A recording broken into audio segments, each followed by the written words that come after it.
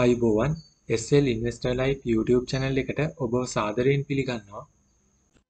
Agalawatta Plantations PLC 2021 third quarter එක ගැන අද මම කතා කරන්න යන්නේ.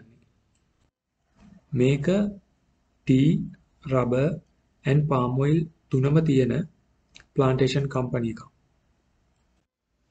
මේකේ 2.8 billion rupees revenue generate වෙලා තියෙනවා 2021 third quarter එකේ.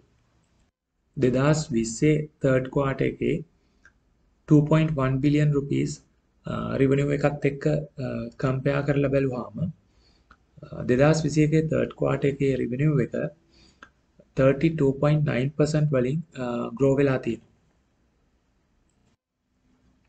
මේකේ දෙදස් විසියගේ තර්ඩ් කවාට වෙනකොට 652.4 මිලියන් රුපීස් ග්‍රොස් ප්‍රොෆිට් එකක් තිබුණා.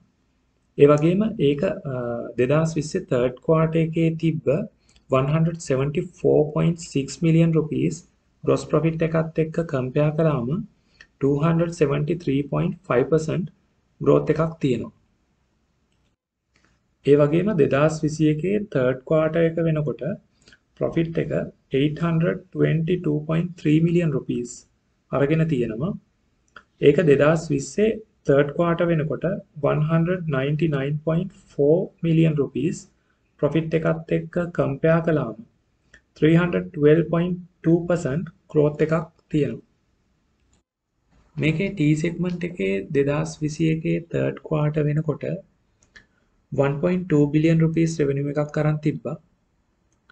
ඒක ඊට කලින් අවුරුද්දේ same quarter එකේදී uh, 1 බිලියන් revenue එකක් තමයි අරන් තිබ්බේ. ඒ වගේම රබර් සෙග්මන්ට් එකේ 2021 තර්ඩ් ක්වාර්ටර් වෙනකොට රෙවෙනියු එක 904.4 මිලියන් අරන් තිබ්බා. එතකොට ඒකත් ඊට කලින් year එකේ තර්ඩ් ක්වාර්ටර් වෙනකොට 532 මිලියන් රුපීස් රෙවෙනියු එකක් තමයි අරන් තිබ්බේ. ඊළඟට ඔයිල් පාම් සෙග්මන්ට් එක ගත්තහම 700 මිලියන් රුපීස් රෙවෙනියු එකක් අරන් තිබ්බා. ඒක ප්‍රවියස් එකේ සේම් කවාට වෙනකොට 365 මිලියන් රුපීස් තමයි රෙවෙනිව් අරන් තිබ්බේ. ඒ වගේම අද රෙවෙනිව් එක 20 මිලියන් රුපීස් අරන් තිබ්බේ. ඒක 2020 තර්ඩ් ක්වාර්ටර් වෙනකොට 212.3 මිලියන් රුපීස් අරන් තිබ්බා. මේකේ ගෲප් රෙවෙනිව් එකෙන් 44% තිබුණේ T සෙග්මන්ට් එකෙන්. ඒ වගේම මේකේ ගෲප් රෙවෙනිව් එකෙන් 31% තිබුණේ රබර් සෙග්මන්ට් එකෙන්. ඊළඟට මේකේ ගෲප් රෙවෙනිව් එකෙන් 24% තිබුණේ ඔයිල් පාම් සෙග්මන්ට් එකෙන්.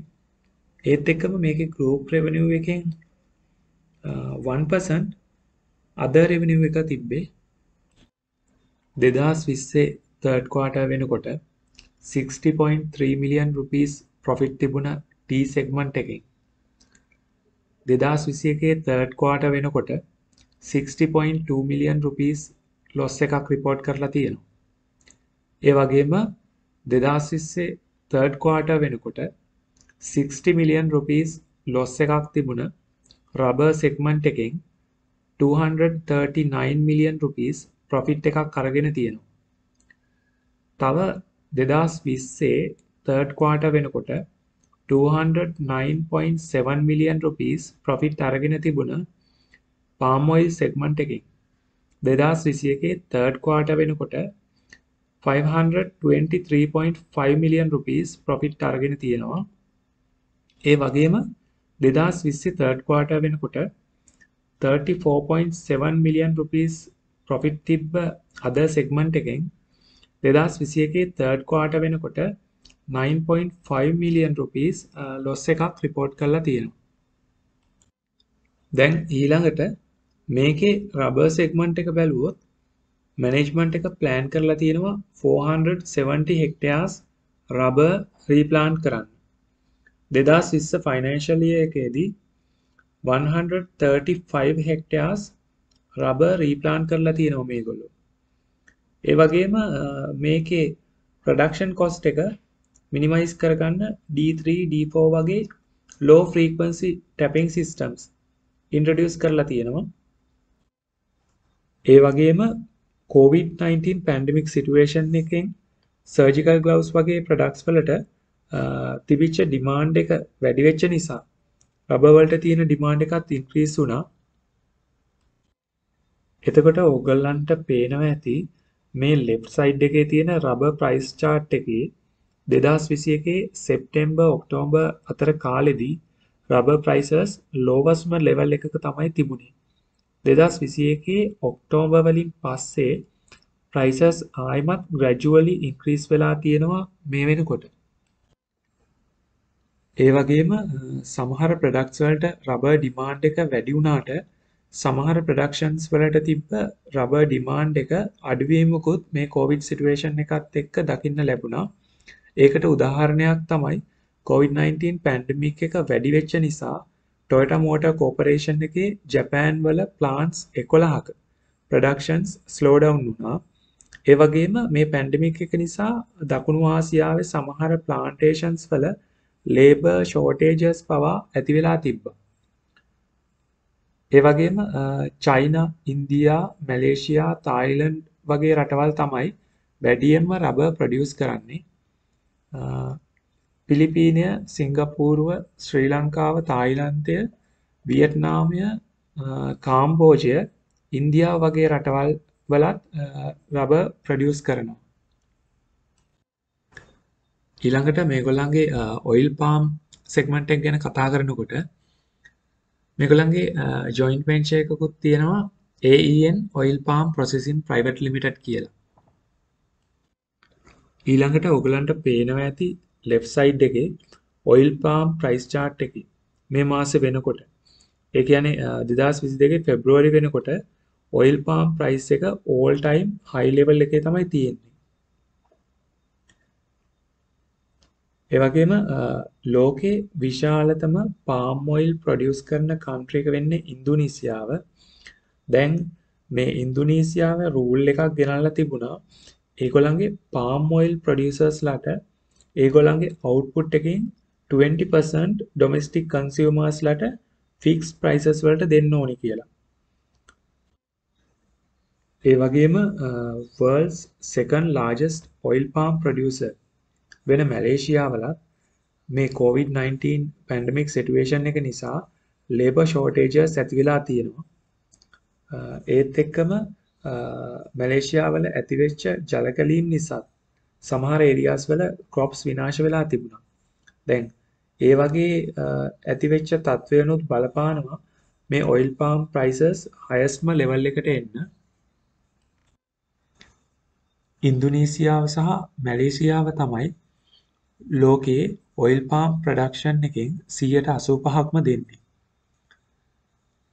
නයිජීරියාව, තායිලන්තය, කොලොම්බියාව තමයි ඊළඟට සැලකිය යුතු ප්‍රමාණයක් ඔයිල් පාම් ප්‍රඩියස් කරන රටවල් වෙන්නේ.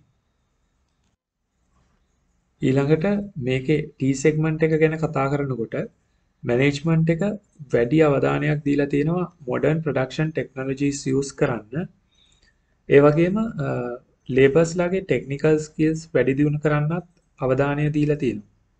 ඒත් එක්කම මේකේ ටී රීප්ලාන්ටිං කන්ටිනියස්ලි කරගෙන යනවා කියලා තමයි පේන්න තියෙන්නේ.